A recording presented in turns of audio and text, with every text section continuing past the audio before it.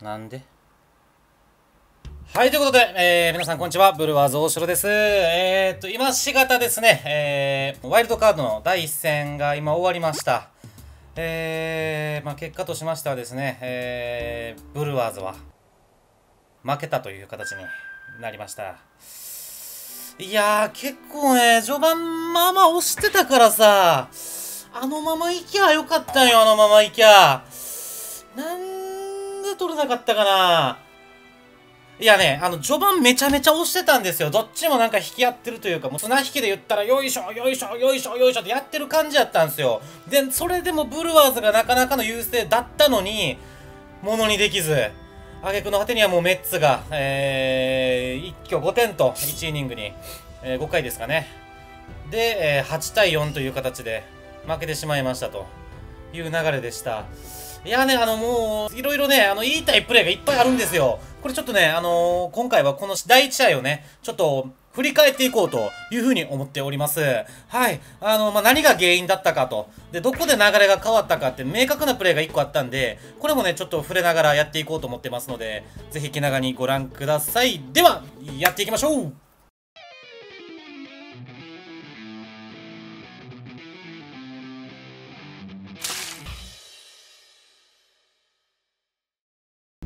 はい、まず、えー、立ち上がりがですね、えーと、フレディ・ペラルタ、立ち上がりのね、フレディ・ペラルタだったんですけども、完璧なピッチングだったんですよ。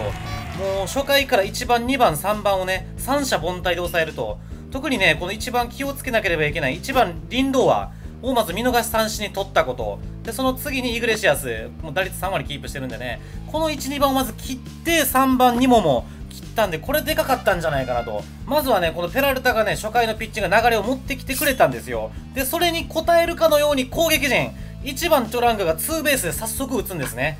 で、2番、えー、調理をレフト前にヒット。で、3番コントレラスですよ。やっぱチャンスに強いね。タイムリーヒット。もう1点取りまして、1-0で。まあ、その後、ホスキンスが、えー、押し出しのファーボール、あまあ、デッドボールか。押し出しのデッドボールということで、まあ、2点先制と。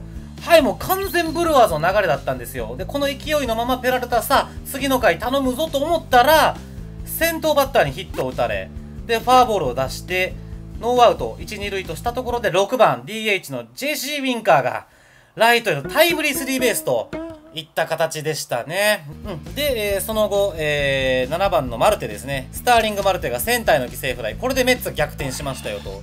もう言うなればね、あの、まずペラルタが1回とはもう別人の投球内容だったんですよ。なんか、や、やれファーボールが多くなったりとか、なんかボール球が増えましたよね。で、あんだけ機能したチェンジアップが全く入らなくなったんで、これがね、まず一つの、まあ、まあ、ポイントだったんじゃないかなっていうふうに思いますよね。はい。で、ここで、まあ一旦攻撃切りまして、3回は共に無得点。で、4回ですよ。4回裏、えー、先頭バッター、サルフレリック、8番フレリックがツーベースを打ったんですよ。で、これでまた流れ来たなと思って、えー、ワンアウトからトゥラングがショートへの内野安打。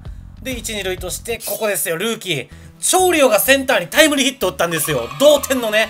これでめちゃめちゃ流れが、うわ、来たわって思ったんですよ。うん。そして、えー、このセンター前ヒットの間にセンターがちょっとジャックルして、えー、ワンアウト。2、3塁としてコントレラスのショートゴロの間で1点加えて逆転。4対3と。もうここでしっかり流れは掴んだわけなんですよ。あ、オッケーオッケー、流れ来てるなーって時だったんですよね。はい、5回に入ります。5回、メッツの攻撃。ここでね、継投したんですよ、ブルワーズは。はい、ペラルタからパヤンプスにちょっと継投しまして、で、この系統どうなるかなと思ったんですよ。まあ、パヤンプス成績自体は、あのレギュラーシーズン結構ね、後半戦は防御率も良かったんですけど、まあ、僕、毎試合見てて、パヤンプス大事なとこでちょっとやらかすようなイメージがあったんですよ。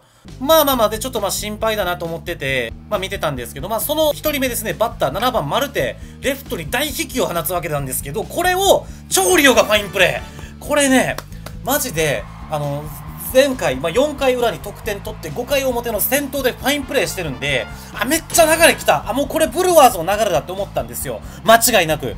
で、そして続くバッターですよ。タイロン・テイラー、まあ、元ブルワーズの選手なんですけど、このバッターがまたレフトに大引きを放つんですよ。で、このプレーなんですけど、これが抜けちゃうといった形だったんですよね。これがものすごい痛かった。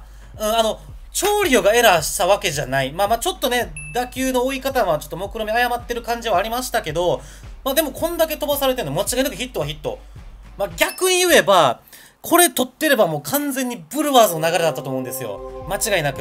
何回も言います。チョーリオのエラーじゃありません。まあこれがまあメジャーの野球なんでしょうね。ちょっとしたところで流れが変わると。はい。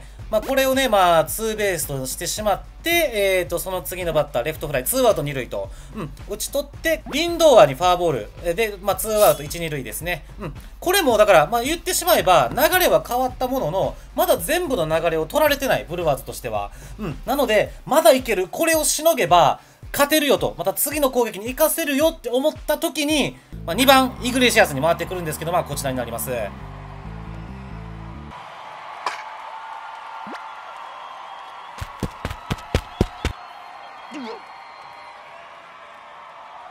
何？マジで。これ何なの？このプレー。いや、ファーストホスキンスよく取ったよ。何してんの？ピッチャー。絶対ベース勘違いしてるよね。めっちゃ怒ると思うよ、宮本さんやったら。マジで。まあそのパンプスが、まあちょっとなんか踏み違いなんかよくわからんけど、うん、まあこのプレーで同点に追いつかれまして、もうこれですよね。このプレーを皮切りにですよ。これで流れがもうガラッと変わって、まあ、ショートへの内野安打。で、えー、4番バッターがライトへのタイムリーヒット。うまい流し打ちでしたね。で、その後、ピート・アロンソを歩かして、ここですよ。はい、まあ、バッター6番のマルティネスですね。代打ですね。あの、先ほど、ライン際にタイムリーを放ったウィンカーに代わって代打マルティネスが入ったんですよ。1打席目打ってるバッターにもかかわらず、まあ、マルティネス出してきたと。まあ、ピッチャーが左投手に変わったっていうのもあると思うんですけど、まあ、これをね、JD マルティネスがしっかり追っつけて、ライトに運ぶと。もう関本さんみたいな打球打ってるからね。ほんと代打の神様やと思うわ。はい、でもこれで8対4と、4点差に広げられましたって形でしたね。うん。で、えっ、ー、と、こっからもう両チーム、パタッと止まります。攻撃がもう、ブルワーズに至っては、もうこっから1人のランナーも出さず試合を終えまして、メッツもこっからヒット1本も出ず終わったんですよ。はい。なので、あのー、前半と後半で全く別の試合を見てるような感覚だったんですね。今回の試合は。はい。まあ、なので、調理用のやつはもうしょうがないです。あれは取れなかったっていうのはしょうがないです。まあ、これでちょっと流れはね、ちょっとだけメッツに偏ったんですけど、あの、パヤンプスのでプレーですよ。あれさえ切ってれば、間違いなくもう、ブルワーズに流れは来てたと思うんですけどね、試合のね。はい、もう改めて野球、まあ、スポーツというのはね、流れのスポーツだっていうのを認識させられましたよね、今回は。まあ言ってもね、まあ第1戦落としただけなんで、まあ明日第2戦、第3戦、まあ明日勝てば第3戦もありますので、先手2勝なんでね、まだ1戦落としただけなんで、全然まだ、まだまだまだ諦めてはいけません。はい、ブルワーズ、まだまだいけますよ。絶対勝つと思いますので、明日もお楽しみください。はい、ということでここで動画終わろうと思います。はい、また次回の動画もお楽しみください。ではご視聴ありがとうございました